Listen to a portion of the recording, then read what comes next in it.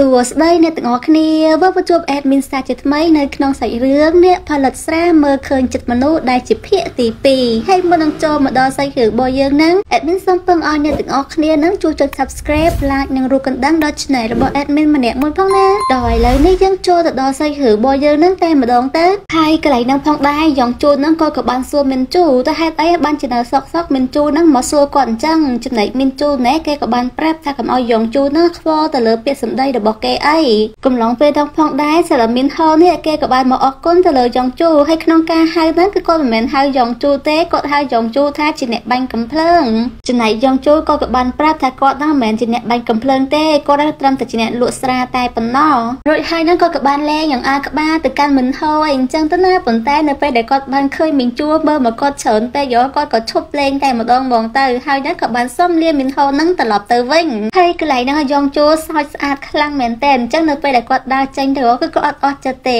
គាត់ក៏បានកលេចមើលក្រោយទៅកាន់មិនជូទៀតគាត់ចង់ដឹងថាហេតុអីបានជាមានជូនោះមើលមកគាត់រហូតអញ្ចឹងចំណែកមានជូនោះក៏អញ្ចឹងដែរមើលទៅកាន់ចង់ជួឡើងភ្លឹកតែម្ដងមិនដឹងជាគិតអីទេឥឡូវនេះពួកគេទាំងពីរនាក់ក៏បានមកអង្គុយជជែកគ្នានៅកន្លែងនេះមួយចំណែកមានហ៊ូណែនៅតូចទេប៉ុន្តែសម្ដីខ្លាំងមែនតែនគាត់ក៏បានប្រាប់ថាគាត់លឺយ៉ងជូនោះហៅឈ្មោះមានជូថាយួនមានជូប៉ុន្តែមានជូនឹងគាត់ក៏បានតបទៅវិញថារឿងទាំងអស់ហ្នឹងគឺវាមិនសំខាន់ទេអ្វីដែលសំខាន់ហ្នឹងគឺគាត់បានដឹងថាមើលទៅយ៉ងជូគឺគាត់មានអារម្មណ៍ថាពិតជាសោកសៅនៅក្នុងចិត្តខ្លាំងមែនតែនដល់ទៅពេលចឹងទៅមានហូនហ្នឹងគាត់ក៏សួរថាតើមានជូហ្នឹងបារម្ភជាមួយនឹងយ៉ងជូហ្នឹងមែនចំណែកមានជូគាត់ក៏បានប្រាប់ថាគាត់ហ្នឹងមិនបានចាប់អារម្មណ៍ទៅលើយ៉ងជូនោះទេដោយសារតែគាត់ហ្នឹងអាចមើលដឹងអំពីអារម្មណ៍មនុស្សថាតើអារម្មណ៍មនុស្សហ្នឹងកំពុងតែយ៉ាងណាយ៉ាងណីអីអញ្ចឹងទៅណាហើយមានជូហ្នឹងគេឆ្លាតខ្លាំងមែនតែនគេក៏បានសួរបកមកវិញទៀតហើយថាបើសិនជាមានជូនេះមិនចូលចិត្តទៅលើយ៉ងជូចុះហេតុអីបានជានៅសក់សក់ហ្នឹងចូលទៅចិត្តយ៉ងជូនៅពេលដែលគាត់ហ្នឹងកំពុងតែបាញ់កំភ្លើងអញ្ចឹង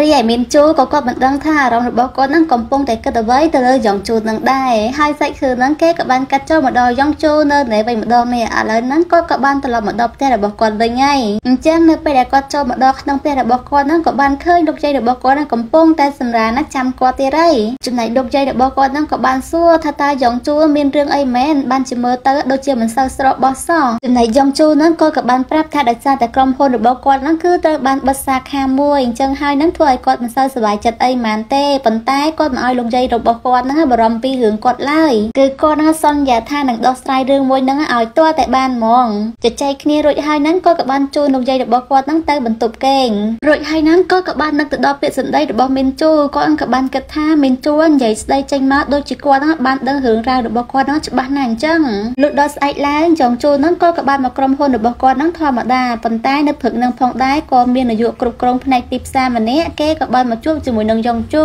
ហើយលោកពូម្នាក់ហ្នឹងក៏គឺមានឈ្មោះថាណាំយ៉ងឆេគាត់ក៏ជាអ្នកគ្រប់គ្រងផ្នែកសាខាផងដែរអញ្ចឹងនៅពេលដែលគាត់ដឹងថាសាខារបស់យ៉ងជូនឹងអាឡូមកអញ្ចឹងហើយគាត់ក៏បានស្នើសុំឲ្យយ៉ងជូនឹងទៅធ្វើការនៅកន្លែងមួយទៀតដោយគាត់នឹងឲ្យយ៉ងជូនឹងទៅបញ្ចុះបញ្ចូលអ្នកផលិតស្រាមួយម៉ាកនេះដើម្បីឲ្យអ្នកផលិតស្រាមួយម៉ាកហ្នឹងចូលរួមសហការនៅក្នុងក្រុមហ៊ុនជាមួយនឹងពួកគេហើយបើសិនជាយ៉ងជូនឹងធ្វើការងារមួយនឹងបានសម្រេចអញ្ចឹងគេនឹងបើកសាខារបស់យ៉ងជូនៅកន្លែងហ្នឹងឲ្យយ៉ងជូវិញតែម្ដងចំណែកយ៉ងជូគ្រាន់តែលឺអញ្ចឹងគាត់អូខេឡើងលឿនតែម្ដងដោយសារតែគាត់ចង់ឲ្យក្រុមហ៊ុនសាខារបស់គាត់បើកឡើងវិញដែរអូឥឡូវនេះយ៉ងជូហ្នឹងគាត់ក៏បានលាក្រុមគ្នាគ្នារបស់គាត់ហ្នឹងដើម្បីទៅកន្លែងថ្មីនៅទីក្រុងសេអូណូអញ្ចឹងកំឡុងពេលនោះស្រាប់តែលោកប្រធានម្នាក់នេះគាត់ក៏បានមកជួនដំណើររបស់យ៉ងជូហ្នឹងជាលើកចុងក្រោយផងដែរហើយគាត់ហ្នឹងក៏បានប្រាប់ថាយ៉ងជូនោះស្គមខ្លាំងណាស់គាត់តែញ៉ាំបាយឲ្យបានច្រើនទៅចំណែកយ៉ងជូគាត់ក៏បានតបគាត់ថាគាត់មិនអីទេគាត់មានកម្លាំងខ្លាំងមែនតែនបន្ទាប់មកលោកប្រធានម្នាក់ហ្នឹងគាត់ក៏បានប្រាប់ថាបើសិនជាយ៉ងជូ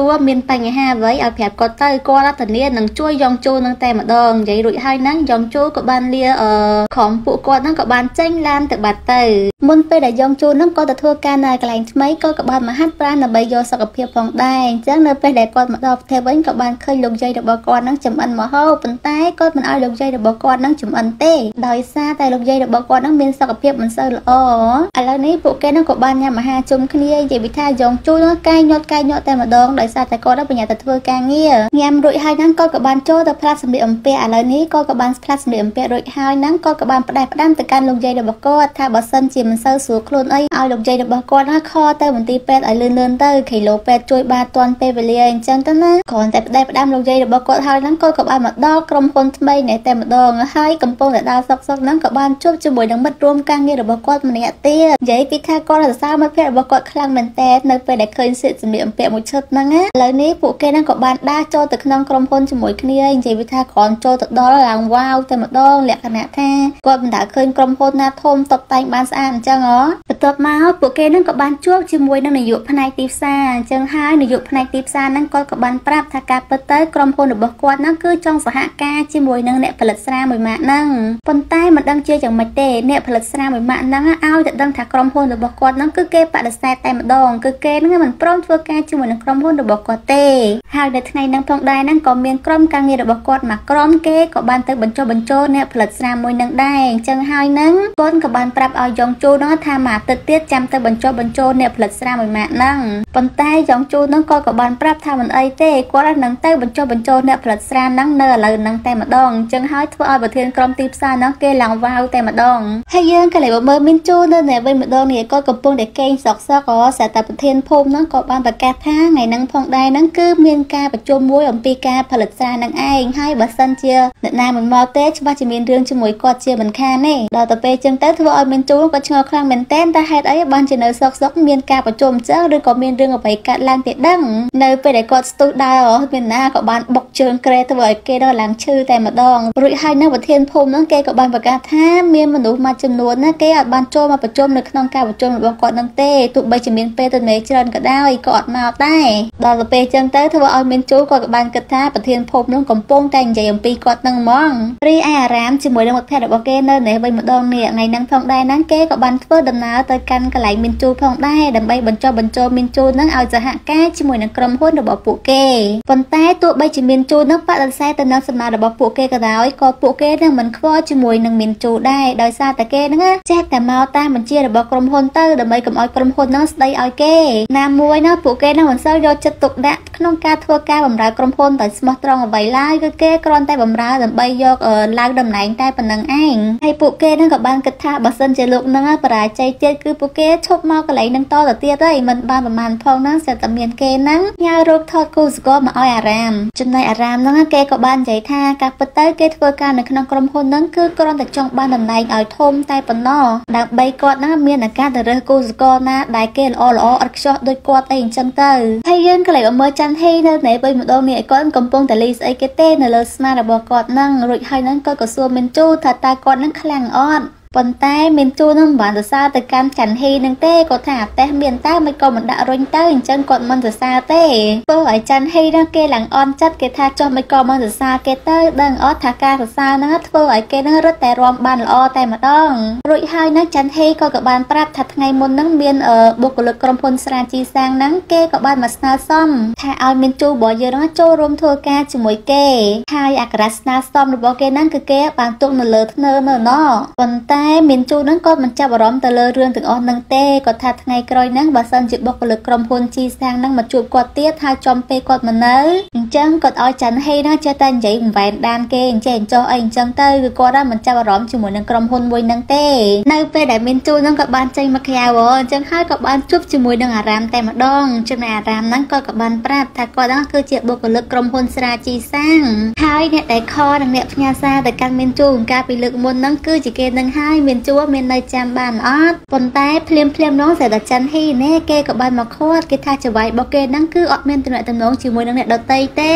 អញ្ចឹងហើយគេឲ្យអារឿងហ្នឹងមកពិភាក្សាជាមួយគេវិញទៅសេដាត់មានជូនណែគេក៏បានប្រាប់ទៅវិញថាមិនអីទេគេត្រូវការនិយាយគ្នាជាមួយនឹងអារាមអាផ្លែតនៅពេលដែលពួកគេកំពុងតែជជែកគ្នាហ្នឹងច័ន្ទហ៊ីណែគេក៏បានគិតថាជាមួយអាតិចទៀតហ្នឹងមានជួដឹងតែបដិសេធទៅនឹងសំណើរបស់អារាមហ្នឹងតែម្ដងហើយពេលគាត់ឈរយូរយូរទៅគាត់ក៏បានគិតថាអឺបងស្រីរបស់គាត់ដែលជាចងជូនថាមកកន្លែងហ្នឹងដែរចុះឥឡូវហ្នឹងមិនក៏មិនទាន់ឃើញមកទៀតអញ្ចឹងហើយយើងក៏លេបើមើលយ៉ងជូទៅនេះវិញម្ដងនេះថ្ងៃហ្នឹងផងដែរជាមួយនឹងគ្នារបស់គាត់ហ្នឹងហ៎គេក៏បានមកជួបជាមួយមិនជូហ្នឹងនៅឯកន្លែងចំការរបស់គេផងដែរប៉ុន្តែមកជួបជាមួយនឹងប្រធានភូមិរួចហើយហ្នឹងក៏ក៏បានណែនាំខ្លួនរបស់គាត់ថាគាត់ហ្នឹងគឺជាបុគ្គលិកផលិតស្រាដែលមានឈ្មោះថាជីសាងហ្នឹងណាមិនត្រឹមតែប៉ុណ្ណឹងទេយ៉ងជូហ្នឹងគេថែមទាំងបានទិញរបស់របរជាច្រើនយកមកផ្ញើប្រធានភូមិហ្នឹងផងដែរបន្ទាប់មកប្រធានភូមិនឹងគេក៏បានខទៅរកមីនជូប៉ុន្តែខទៅរកមីនជូគឺអត់ចូលទេហើយគាត់ក៏បានលន់មកថាដោយសារតែគាត់នឹងពិបាកតាក់ទងទៅកាត់មីនជូខ្លាំងពេករហថ្ងៃហ្នឹងឲ្យតែពេលគាត់ចង់ហៅមីនជូគាត់តែងតែយកមេក្រូនឹងប្រកាសហៅមីនជូនឹងតែម្ដងអញ្ចឹងហើយ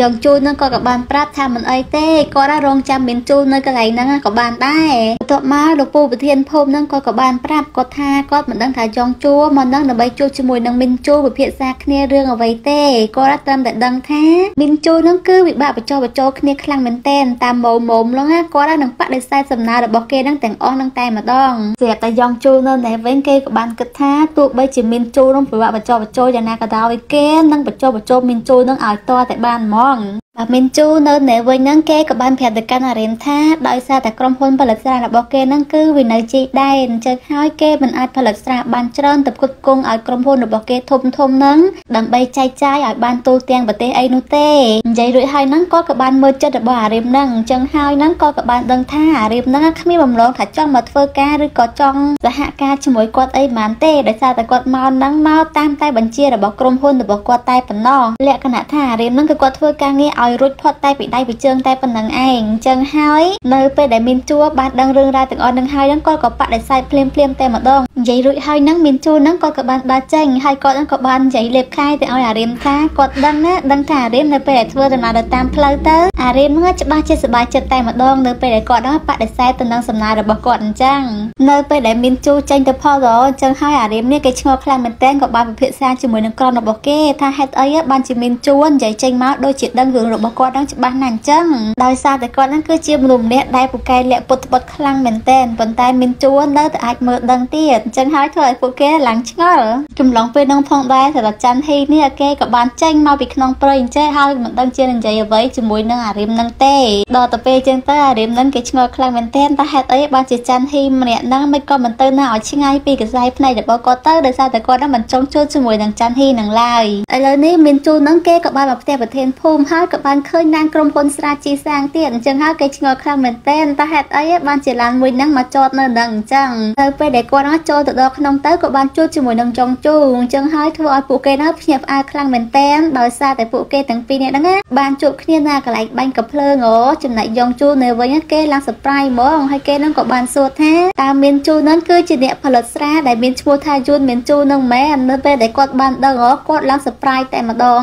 ហើយភ្លាមភ្លាមនោះប្រធានភូមិណែគាត់ក៏បានណែនាំថាយ៉ងជូហ្នឹងគឺជាបុគ្គលិកស្រាជីសាងហើយមកហ្នឹងគឺដើម្បីចង់ពិភាក្សាគ្នាជាមួយនឹងមានជូនិយាយរួចហើយហ្នឹងគេក៏បានសុំត្រឡប់ទៅមុនដែលទុកឱកាសឲ្យពួកគេទាំងពីរហ្នឹងនៅជជែកគ្នាហ្នឹងហើយរួចហើយហ្នឹងមានជូគាត់ក៏សួរថាតើយ៉ងជូហ្នឹងគឺជាបុគ្គលិកនៃក្រុមហ៊ុនស្រាជីសាងមែនណែមានជូហ្នឹងគាត់ក៏បានប្រាប់ថាហ្នឹងហើយគាត់គឺជាបុគ្គលិកនៃក្រុមហ៊ុនផលិតស្រាជីសាងហើយគាត់មិននឹកស្មានថាយួនមានជូហ្នឹងគឺជាអ្នកផលិតស្រាដែលមានឈ្មោះថាណារ៉ូបៀនឹងសហើយធ្វើឲ្យយ៉ងជូហ្នឹងគាត់សប្បាយចិត្តខ្លាំងមែនទែនគាត់ក៏បានសុំជជែកគ្នាជាមួយនឹងមីនជូប៉ុន្តែមីនជូនឹងគាត់បដិសេធគាត់ថាគាត់មិនជជែកគ្នាជាមួយនឹងយ៉ងជូទេដោយសារតែយ៉ងជូនឹងគឺជាបុគ្គលិកផលិតស្រាជីសាងហ៎ណាមួយនឹងគឺគាត់បានបដិសេធទៅលើសំណើរបស់ពួកគេរួចរាល់អស់ហើយអញ្ចឹងគាត់មិនត្រូវការអីជជែកគ្នាជាមួយនឹងមីនជូតទៅទៀតនោះទេ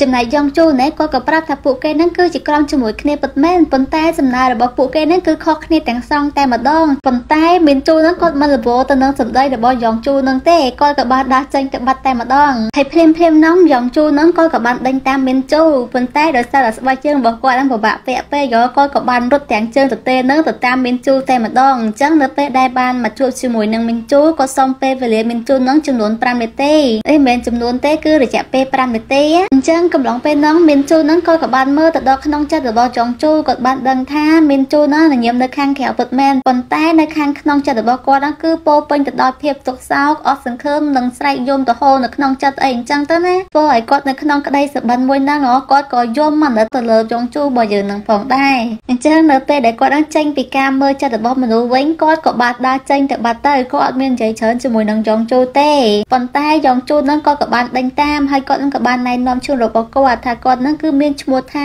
ឆេយ៉ងជូរួចហើយនឹងយ៉ងជូហ្នឹងគាត់ក៏បានបញ្ចុះបញ្ចូលដើម្បីឲ្យមីនជូហ្នឹងយកព្រមសហការគ្នាជាមួយនឹងក្រុមហ៊ុនរបស់គាត់គាត់ហើយកំឡុងពេលដែលគាត់កំពុងតែនិយាយចោលឡើងចឡើងហ្នឹងមីនជូហ្នឹងក៏ក៏បានយកស្បែកជើងហ្នឹងមកពេលឲ្យយ៉ងជូផងដែរប៉ុន្តែយ៉ងជូគាត់មិនបានដឹងខ្លួនទេគាត់នៅតែនិយាយចេះនិយាយចោលអីអញ្ចឹងទៅដើម្បីធ្វើយ៉ាងម៉េចឲ្យមីនជូហ្នឹងយកព្រមសហការជាមួយគាត់តរួចហើយហ្នឹងមីនជូគាត់ក៏នៅតែបដិសេធដល់ហ្នឹងគឺគាត់មិនសហការធ្វើការងារជាមួយនឹងក្រុមហ៊ុនជីសាំងនោះឡើយប៉ុន្តែយ៉ងជូនេះគាត់ក៏បានឲ្យមីនជូហ្នឹងអានសំណើរបស់គាត់ហ្នឹងជាមុនសិនទៅមុនពេលដែលមីនជូហ្នឹងចង់បដិសេធទៅលើសំណើរបស់គាត់ទោះបីជាយ៉ាងណាក៏ដោយមីនជូតថាទេគឺទេហើយនិយាយហើយហ្នឹងក៏ក៏បានដើរចេញទៅប៉ុន្តែក៏ក៏បានផ្ដាំផ្ញើទៅកាន់យ៉ងជូថាឲ្យយ៉ងជូហ្នឹងទៅមន្ទីរពេទ្យដើម្បីពិនិត្យសុខភាពផងអញ្ចឹងហើយធ្វើឲ្យយ៉ងជូក៏ឆ្ងល់ទៀតដែរថាហេតុអីបានជាមីនជូនិយាយចេញមកដូចជាដឹងថាគាត់ហ្នឹងកំពុងតែឈឺនៅលើក្បាលពោះរបស់គាត់អញ្ចឹងនៅពេលដែលមីនជូចេញទៅផលទៅចំណែកយ៉ងជូណែគេភ្ញាក់ផ្អើលខ្លាំងមែនទែនតែហេតុអីបានជាគេពាក់ស្បែកជើងហ្នឹងដោយមិនដឹងខ្លួនអញ្ចឹងឥឡូវនេះមីនជូហ្នឹងក៏កំពុងតែធ្វើដំណើរត្រឡប់ទៅផ្ទះវិញហើយអញ្ចឹងកំឡុងពេលដែលគេនៅតាមផ្លូវហ្នឹងគេឆ្ងល់ខ្លាំងមែនទែនតែហេតុអីឥឡូវហ្នឹងបានជាគេហ្នឹងមិនអាចគ្រប់គ្រងអារម្មណ៍របស់គេហ្នឹងបានអញ្ចឹង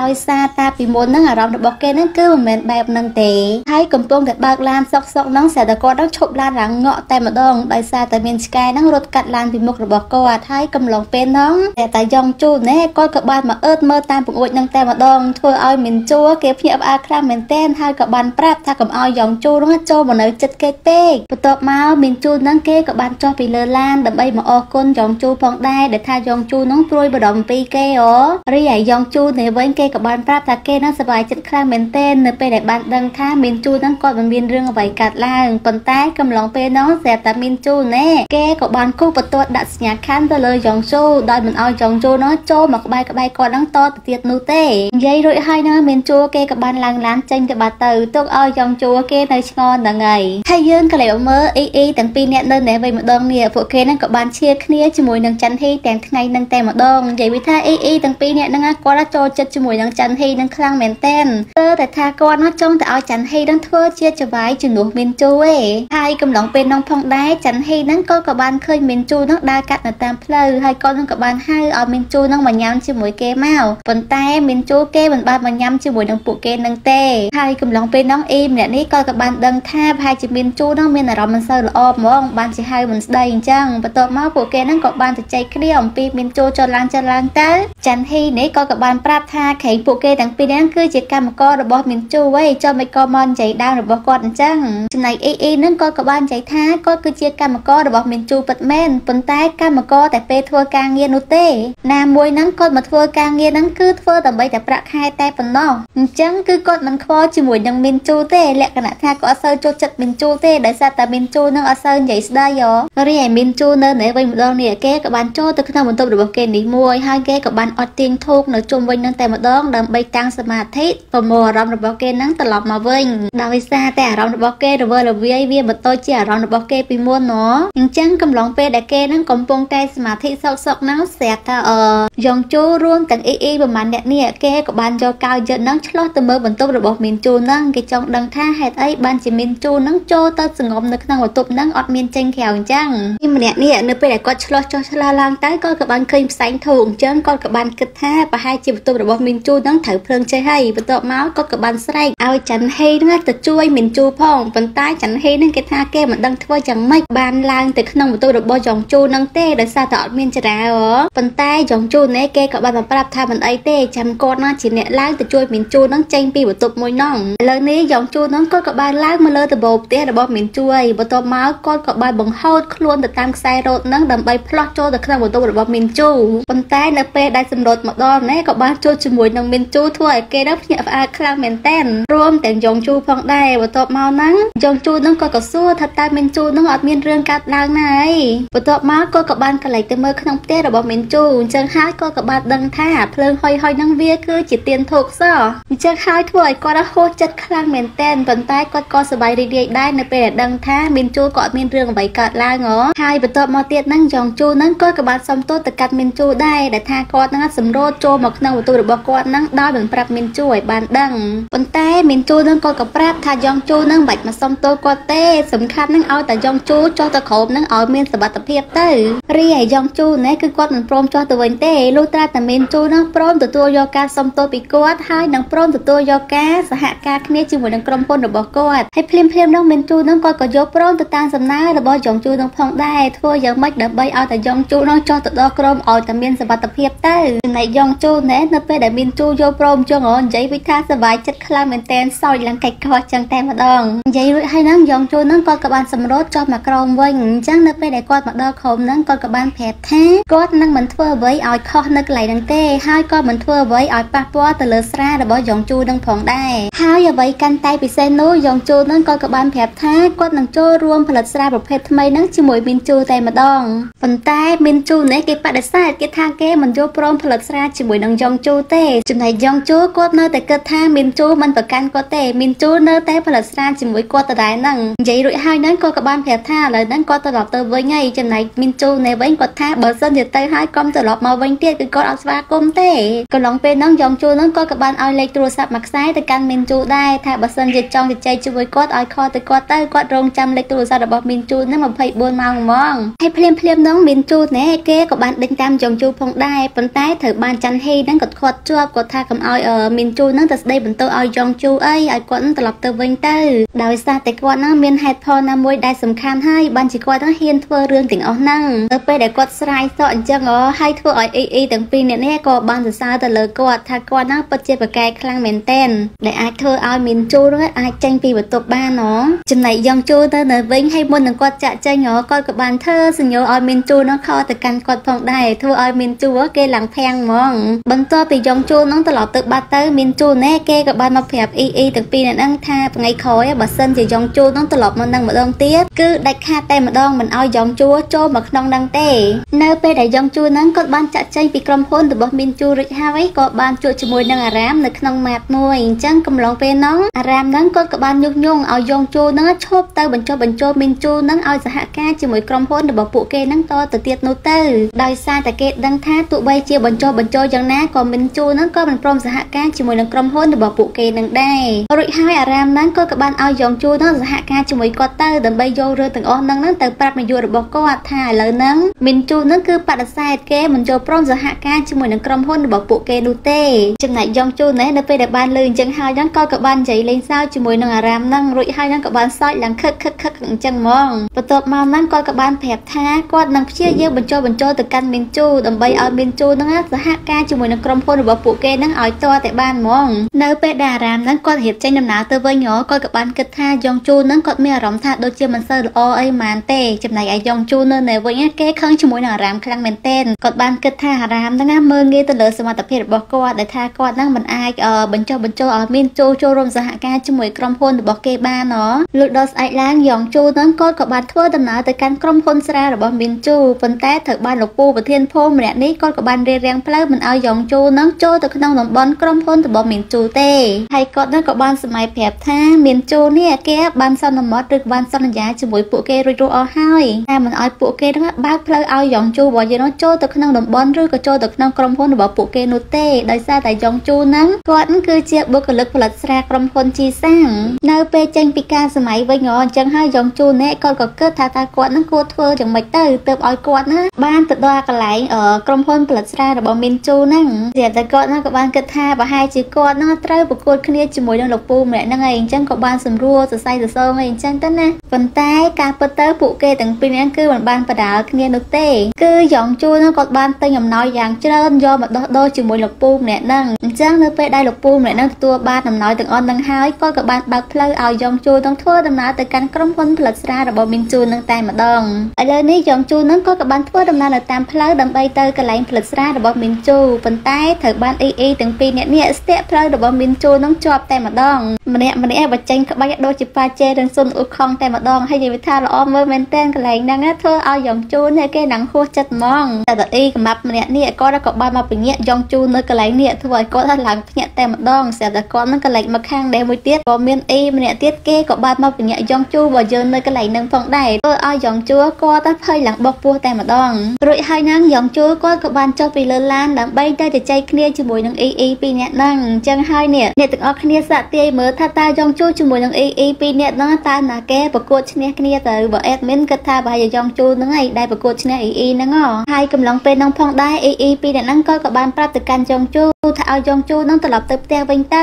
ដោយសារតែមានជូនឹងបានប្រាប់គាត់រួចហើយថាមិនឲ្យពួកគាត់ទាំងពីរនឹងឲ្យយ៉ងជូនឹងចូលទៅក្នុងក្រុមហ៊ុនផលិតស្រារបស់គាត់នោះទេបើសិនជាគាត់បានដឹងថាពួកគាត់ទាំងពីរនឹងបានឲ្យយ៉ងជូចូលទៅក្នុងក្រុមហ៊ុនផលិតស្រារបស់គាត់អញ្ចឹងគេនឹងស្ដីឲ្យអ៊ីអ៊ីទាំងពីរនាក់នឹងតែម្ដងដោយសារតែគេនឹងអត់ចង់ជួបមុខជាមួយនឹងយ៉ងជូនឹងទេប៉ុន្តែយ៉ងជូនឹងក៏មិនព្រមចោះចាញ់ទេគាត់ក៏បានរនឹកល្បិចដើម្បីធ្វើយ៉ាងម៉េចបោកបញ្ឆោតឲ្យអ៊ីអ៊ីពីរនាក់នឹងជឿគាត់ហ៎អញ្ចឹងហើយនឹងគាត់ក៏សម្រេចចិត្តថានឹងសម្ដែងធ្វើជាចុកពោះឲ្យប្រាប់គាត់ថាអត់បានញ៉ាំអាហារមួយថ្ងៃហ្នឹងទេដល់ទៅពេលអញ្ចឹងទៅធ្វើឲ្យអ៊ីពីរនាក់ហ្នឹងគាត់បារម្ភជាមួយនឹងចុងជូនខ្លាំងមែនទែនគាត់ខ្លាចថាចុងជូននឹងមានបញ្ហាអ្វីទៅដល់សុខភាពរបស់គាត់ហ៎ប៉ុន្តែពួកគាត់ហ្នឹងដូចជាមិនសូវជឿចុងជូននឹងហ្មងទេដល់ទៅពេលអញ្ចឹងទៅចុងជូននឹងគាត់ក៏សម្ដែងធ្វើពុតជាឈឺកាពះម្ដងទៀតទៅធ្វើឲ្យអ៊ីអ៊ីទាំងពីរនាក់ហ្នឹងគាត់ក៏បានហៅចុងជូននឹងឲ្យទៅជាមួយគាត់នឹងតែម្ដងហើយយើងក៏លេចមើលទៅទឹកមុខរបស់យ៉ងជូននិយាយវាថាញឹមខ្ជិបតែម្ដងនៅពេលដែលអ៊ីអ៊ីទាំងពីរនាក់ហ្នឹងចាញ់បោកគាត់ហ៎ឥឡូវនេះអ៊ីអ៊ីទាំងពីរនាក់ហ្នឹងគាត់ក៏បានរៀបចំម្ហូបអាហារយ៉ាងច្រើនដើម្បីឲ្យយ៉ងជូនឹងញ៉ាំរួចហើយហ្នឹងគាត់ក៏បានសរសើរទៅកាន់យ៉ងជូថាយ៉ងជូហ្នឹងគឺជាមនុស្សល្អប្រហែលជាប៉ាម៉ាក់របស់គាត់ហ្នឹងមើលថាយ៉ងជូបានល្អហើយមើលទៅបានតែយ៉ងជូខ្លាចជាមនុស្សល្អបែបហ្នឹងតែយ៉ងជូហ្នឹងគាត់ក៏បានប្រាប់ថាអត់ទេប៉ាម៉ាក់របស់គាត់ហ្នឹងគឺបានលាចាក់លោកអស់ទៅហើយសប្តាហ៍ថ្ងៃហ្នឹងគឺគាត់រស់នៅជាមួយនឹងលោកយាយរបស់គាត់ម្នាក់ដោយចិញ្ចឹមគាត់យ៉ាងលំបាកខ្លាំងមែនទែនដោយសារតែគាត់ហ្នឹងមានជីវភាពរៀងខ្វះខាតដែរហើយក្តីសម័យរបស់គាត់ហ្នឹងគឺគាត់ចង់ខ្លាយទៅជាទាហានម្នាក់ដ៏អស្ចារ្យបន្ទាប់ពីគាត់ហ្នឹងបានបញ្ចប់ពីមហាវិទ្យាល័យនៅពេលដែលអ៊ីអ៊ីទាំងពីរនាក់ហ្នឹងគាត់បានដឹងអំពីប្រវត្តិរបស់យ៉ងជូធ្វើឲ្យពួកគាត់ហ្នឹងអាណិតទៅកាន់យ៉ងជូហ្នឹងខ្លាំងមែនទែនឡងគ្រាយំឡងរហូតពេញនឹងតែម្ដងចំណែកយ៉ងជូនេះគាត់ក៏បានយកអាកសែងជូតទឹកភ្នែកដឹងយកទៅជូតឲ្យអ៊ីអ៊ីទាំងពីរនាក់ហ្នឹងផងដែរមើលទៅកន្លែងហ្នឹងឡើងកំ pl ែងហើយយើងក៏លេចមកមើលមានជូនៅនៅវិញម្ដងនេះឥឡូវហ្នឹងគាត់ក៏បានដឹងថាយ៉ងជូហ្នឹងបានចូលមកកន្លែងក្រុមហ៊ុនផលិតស្រារបស់គាត់ហើយអញ្ចឹងគាត់ក៏បានរត់រយ៉ងជូអីអញ្ចឹងទៅណានៅពេលដែលគាត់ហ្នឹងរត់មកដល់កន្លែងនេះគាត់ក៏លែងទៅកន្លែងចំការរបស់គាត់ហ្នឹងក៏បានឃើញអ៊ីម្នាក់ហ្នឹងឡើងបេះអាវវផលិតស្រារបស់គាត់ហ៎អញ្ចឹងហើយគាត់ខ្លាចបារម្ភថាអ៊ីម្នាក់ហ្នឹងគាត់ធ្លាក់បាក់ដៃបាក់ជើងអីអញ្ចឹងទៅក៏បានរត់ចូលទៅជួយហើយក៏បានស្រែកប្រាប់ថាឲ្យអ៊ីម្នាក់ហ្នឹងឆាប់ចូលមកវិញមកបើមិនចឹងទេប្រកាសជាមានគ្រោះថ្នាក់ជាមិនខានហើយនៅពេលដែលមកដល់កន្លែងចរាហ្នឹងគាត់ក៏បានស្ដីឲ្យថាគាត់បានប្រាប់បិតាថាមិនឲ្យឡើងអាលើហ្នឹងទេចុះមិនក៏មិនស្ដាប់គាត់អញ្ចឹងតែគាត់ហ្នឹងកន្លែងទៅខាងនោះទៅក៏បានឃើញអ៊ីអ៊ីទាំងពីរហ្នឹងឈរនៅកន្លែងនោះសអញ្ចឹងហើយគាត់ឆ្ងល់ខ្លាំងមែនទែនចុះអ្នកណាគេនៅលើហ្នឹងมันបានប្រមាណផងសត្វយ៉ងជូរបស់យើងនេះគេក៏បានលុតចូលមកផ្លោតតែម្ដងរួចហើយណាក៏បានសោយយ៉ាងស្រស់ដាក់ទៅកាន់យ៉ងជូមិនយ៉ងជូទេគឺមីនជូអេដមីនច្រឡំឈ្មោះគ្នាទៅវិញទៅមករហូតដោយសារតែវាឈ្មោះដូចគ្នាមួយយ៉ងជូមួយមីនជូអញ្ចឹងអ្នកទាំងអស់គ្នាបានស្ដាប់ហើយសូមអធិស្ឋានឲ្យអេដមីនផងដោយសារតែ admin ណាច្រឡំគ្នារហូតឈ្មោះវាដូចគ្នាហើយសាច់រឿងរបស់យើងហ្នឹងគឺ slash ត្រឹមហ្នឹងឯណាជាចុងក្រោយហ្នឹង admin សូមពឹងឲ្យអ្នកទាំងអស់គ្នាហ្នឹងចូលចុច subscribe like និងរូបកណ្ដឹងដល់ channel របស់ admin ម្នាក់មួយផងណាអរគុណបាយបាយ